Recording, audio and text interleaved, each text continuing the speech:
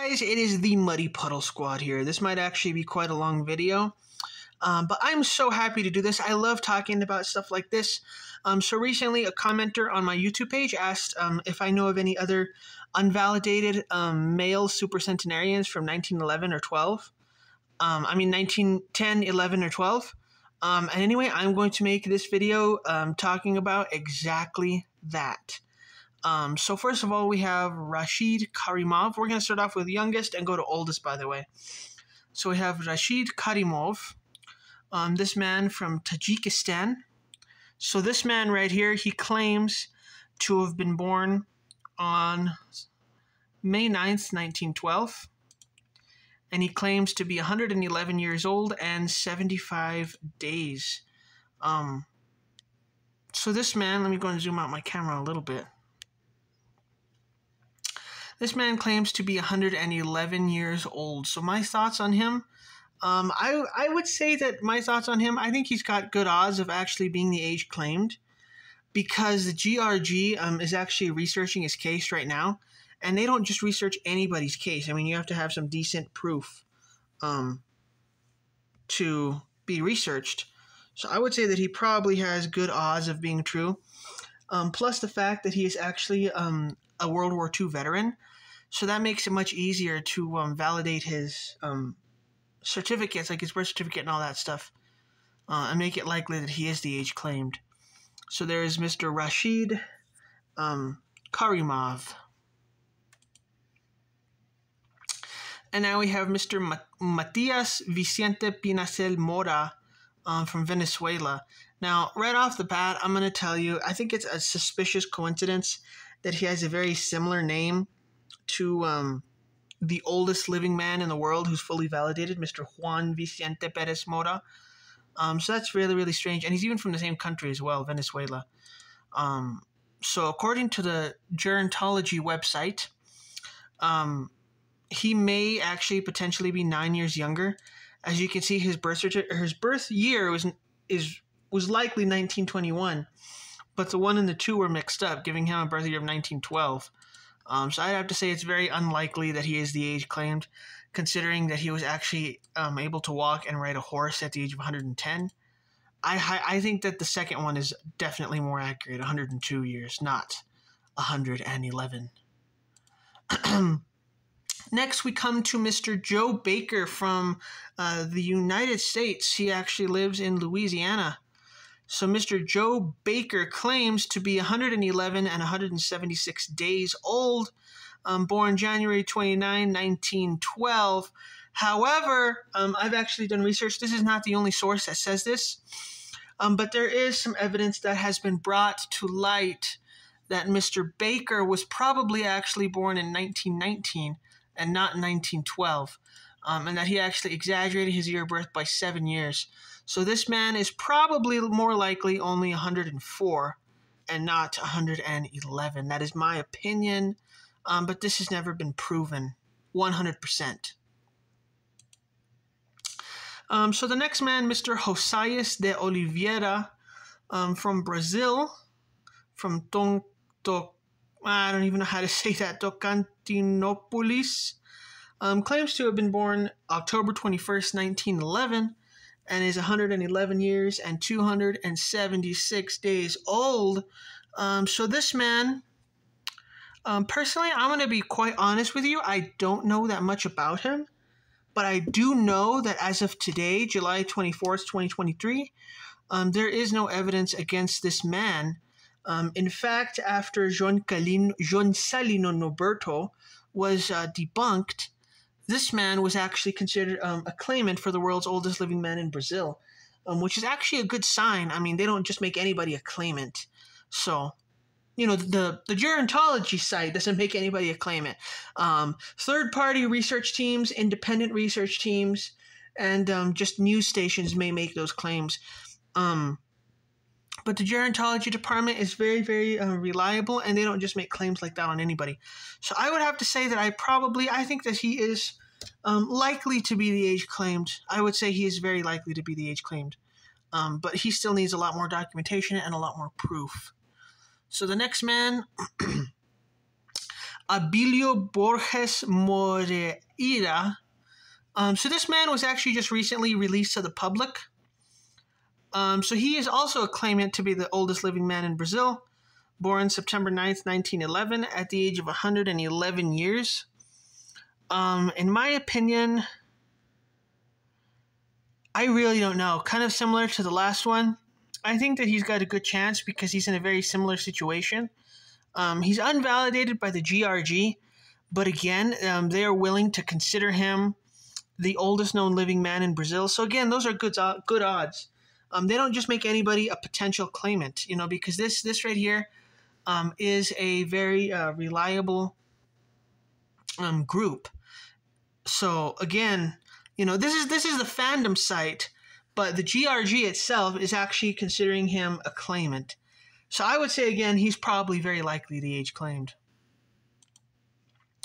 Now the next claimant is Fauja Singh from India, who claims to have been born April 1st, 1911, and is 112 years and 113 days. Now, I'm going to go right off the bat. No, this guy's not 112 for several reasons. Because he is still um, running marathons at 112, I highly doubt that he is actually um, 112, just for that reason alone.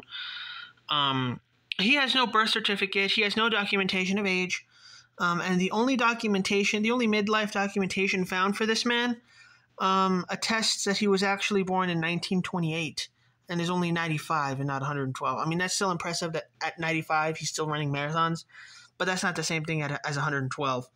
And um, this research done that he was born in 1928, that is not um, 100% proven. It's just, it's likely now that he was actually born in 1928 and not 1911. So the next case we have here, John Walufa Ogwero from Boya Village, Uganda. Again, same place, um, the same place as um, Mr. Singh that we just looked at. He is unvalidated and he has absolutely no documentation of proof of his age.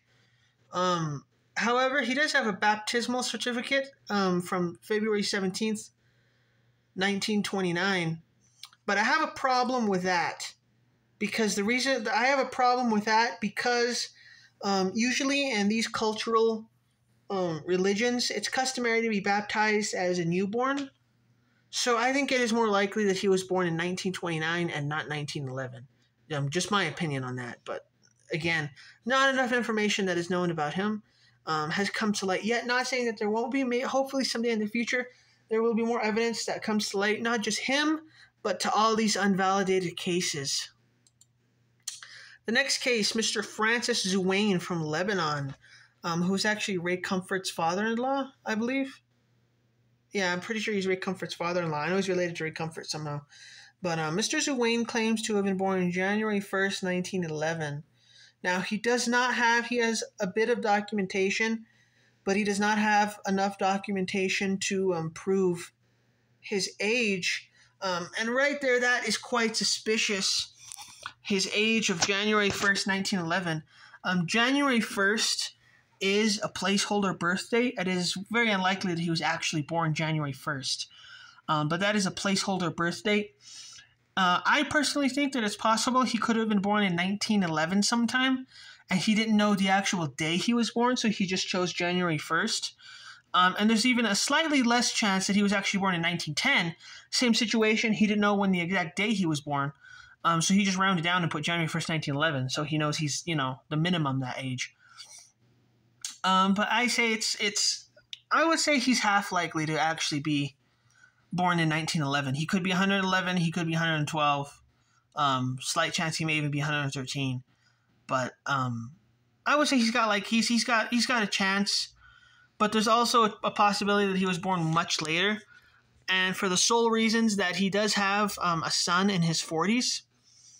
Um, so I mean, he was close to 80 years old when he had his last child. I mean, possible but unlikely.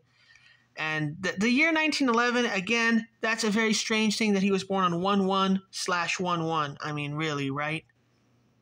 So I, I would say possible that Mr. Zuwain is the age claimed. Our next case is Mr. Carlos Julio Rincon Garzon, who claims to have been born December 24th, 1910, and is 112 years and 212 days.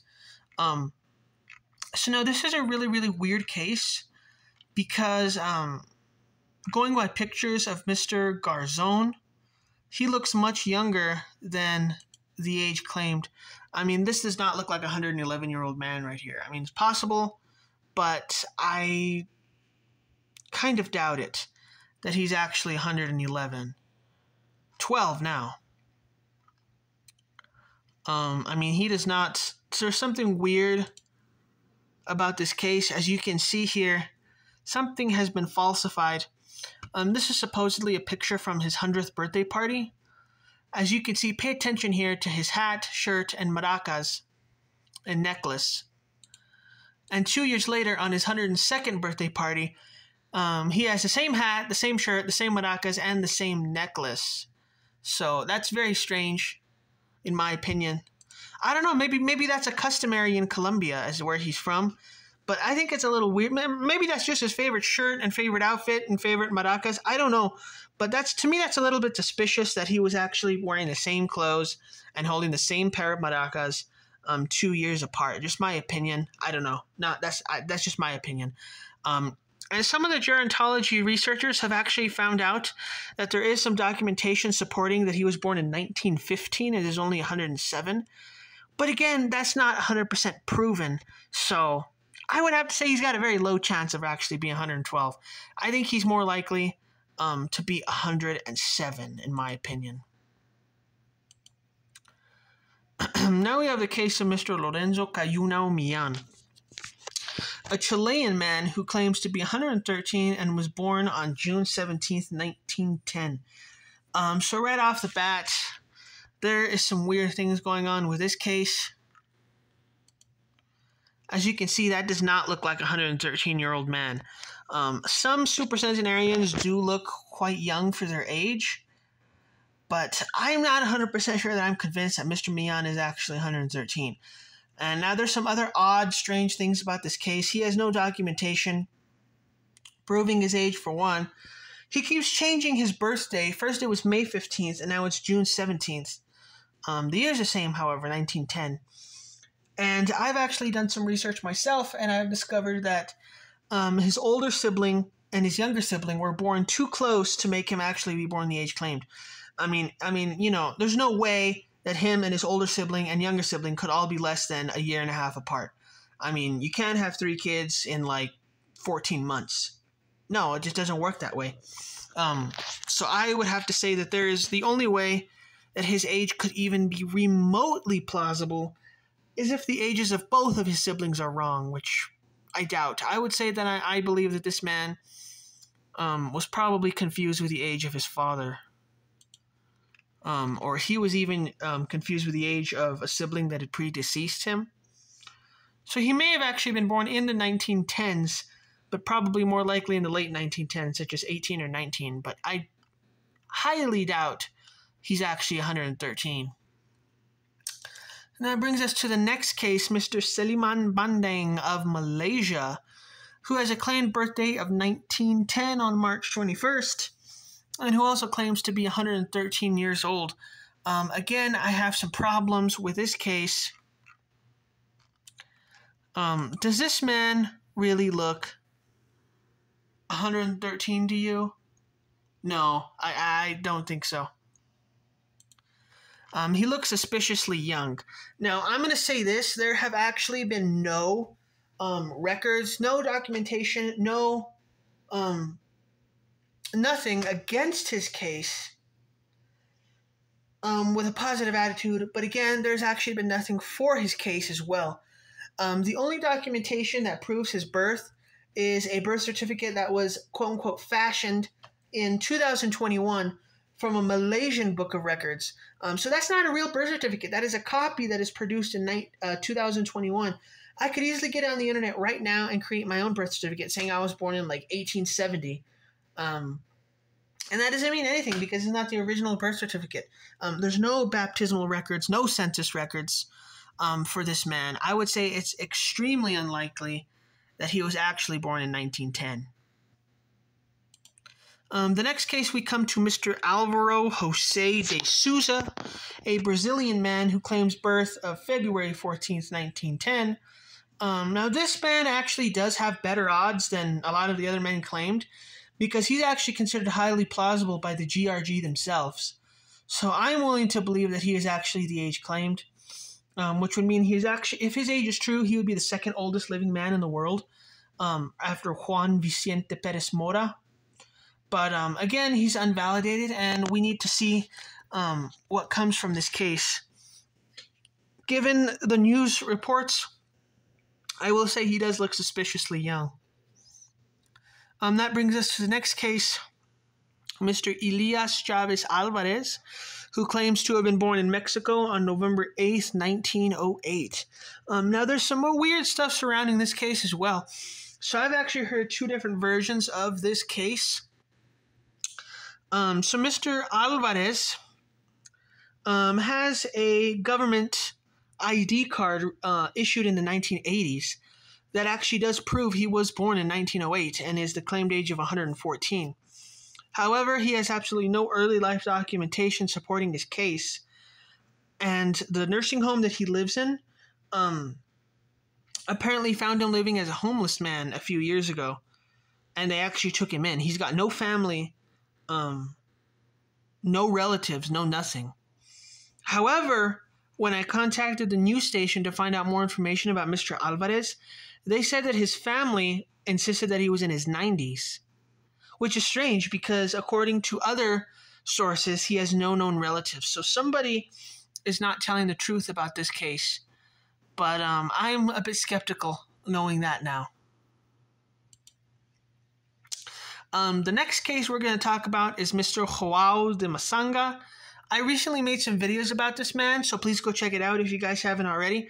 So, Mr. Joao de Misanga is actually the oldest known living man in the world who is considered plausible by the GRG. Um, he is not validated, he's considered unvalidated. Unfortunately, he does not have a page on the gerontology wiki site. If somebody can please go create a page, I would really appreciate that. I would do it myself but I don't know anything about creating web pages.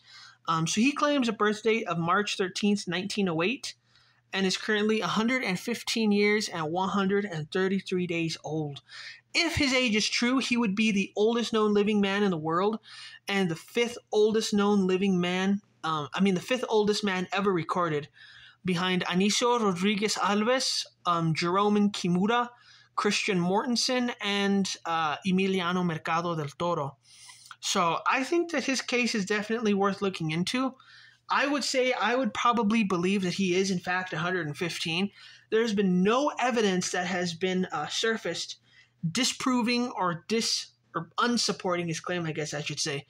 Um, unfortunately, there's no early life documentation, but according to all the midlife and later life docu- documents, he is the age claimed. Again, we need early life. We need three pieces of early life documentation to make him fully documented, and unfortunately, there is none that currently exist. Um, I think that some researchers need to really, really dive into his case and look more deeply into it. and uh, yeah, according to some other researchers, some documentation has been found for his children who were born in the early 1940s. So I mean, he can't even if his uh, he was probably likely born um, in the early 1920s if he has kids that were born in the 40s.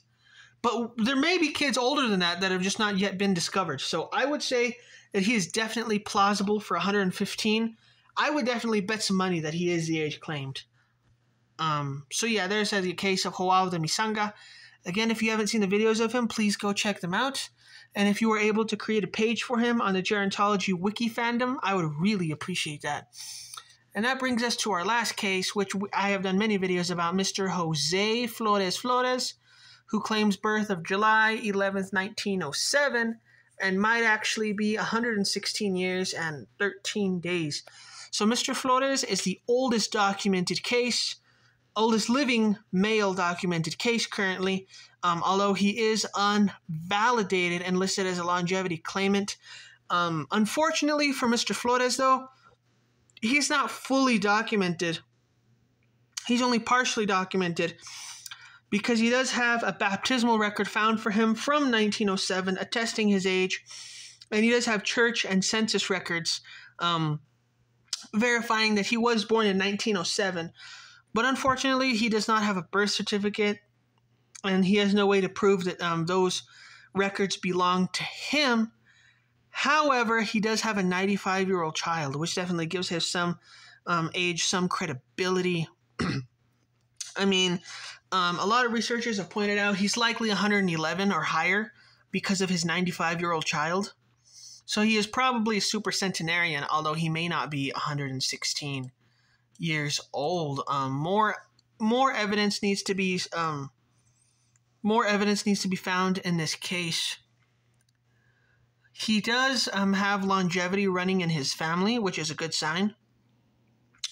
And he is from Cañas, Guanacaste, Costa Rica, which is known for having the, some some of the most cleanest and most breathable air in the world. So I mean, you know, things may have just aligned perfectly for this man. Um, he just happened to so get the perfect longevity genes to make it to 116 and counting. He was born in a place with some of the cleanest air and some of the best climate. He has somehow avoided any accidents throughout his entire life. And um, he has had a very, very good, clean, healthy diet his entire life. There have also been um, some other reasons why I think he is the age claimed. He does have, um, well, okay, let me start off by saying there's no evidence that these documents actually exist, but he does claim to have um, some documents from the 1920s exempting him from uh, the military service of Costa Rica and he also has some docu- other military documents from 1948 saying that um, he fought in the Costa Rican Civil War. However, those two documents, there's no proof that they actually exist. But if those two documents ever come to light, it would definitely make his case um, very much more likely, is a better way to put it. But anyway, thanks guys for checking out this video. This video was really, really long.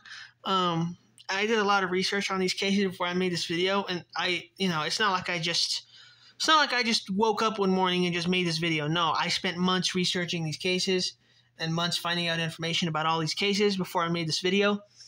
So I would really appreciate if you guys give the video a like and please comment down below telling me what you guys thought and what you guys think of these cases.